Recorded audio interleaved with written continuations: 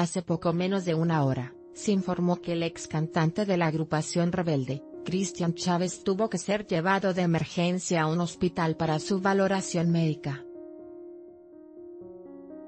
Según información de La Verdad Noticias, Cristian fue hospitalizado por supuestas piedras en el riñón.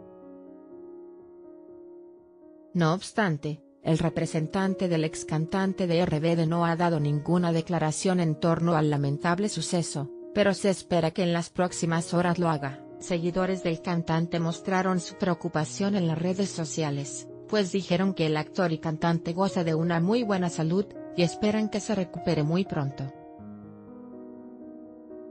La neta noticia se mantendrá al tanto para obtener información más detallada en el transcurso del día. Sin duda alguna, este es uno de los mejores años para Cristian Chávez, pues tiene dos importantes proyectos en dos televisoras diferentes. El actor participa en la segunda temporada de Rosario Tijeras, en Televisión Azteca, y Like Proyecto de Pedro Damian para Televisa. En la producción de Rosario Tijeras David Aguarro, un policía que es aliado de los malos, y que ayudará para tener a Rosario en la mira de los narcos, por otra parte, en Like, interpreta a un profesor de nombre Gabriel Rey, que Garay apoyará a los jóvenes del colegio. ¿Qué crees que le pasó?